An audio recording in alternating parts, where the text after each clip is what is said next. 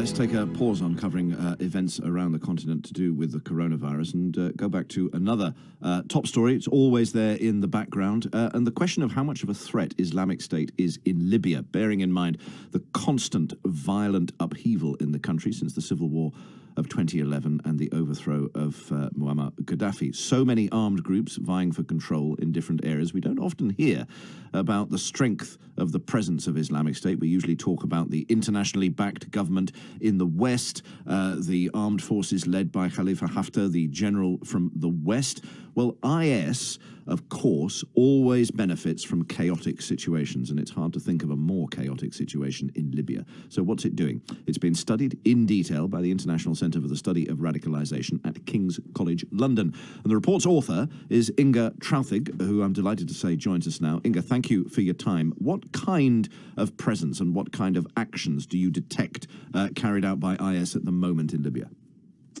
Yeah, good morning. Thanks for having me. So, um, with the report, um, ICSR um, is really aiming at providing data about the debate about Islamic State around the world because we heard repeatedly that it is allegedly defeated.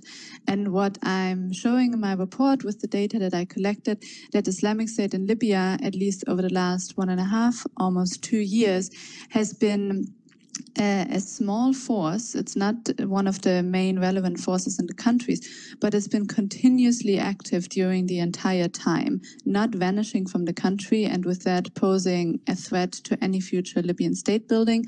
And Islamic State has a prime interest also in staying in Libya because of Libya's location. Right. How do they align themselves in amongst the mosaic of competing militias and interests in the country? Are they a sort of standalone, or do they pick sides according to their own convenience?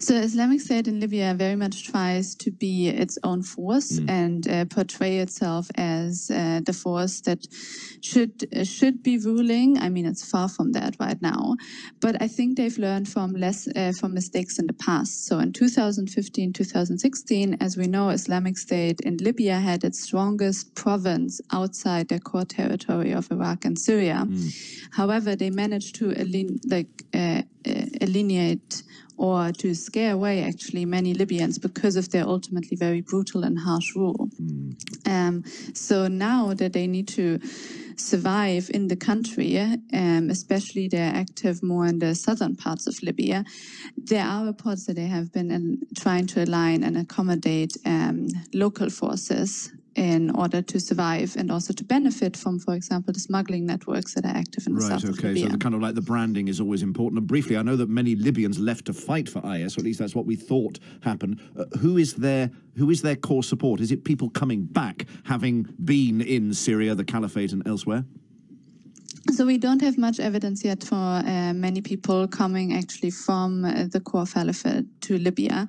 There um, are several reasons that uh, likely for that. One of them is that Libya is not a very hospitable environment at the moment, mm. and the other one is that Islamic State in Libya, in their propaganda, tries to portray themselves um, more favorably and more attractively than they actually are. So, in our assessment, Islamic State in Libya is much more reliant and is trying much harder to actually take advantage of the vulnerable population in Libya, like migrants passing through, take advantage of the linkages to sub-Saharan Africa, and in the long term, probably try to build on the grievances that are built in Libya because of the current civil war. Fascinating. Many, many thanks indeed, Inga. Inga Trauthig of the International Centre for the Study of Radicalisation, based at King's College London.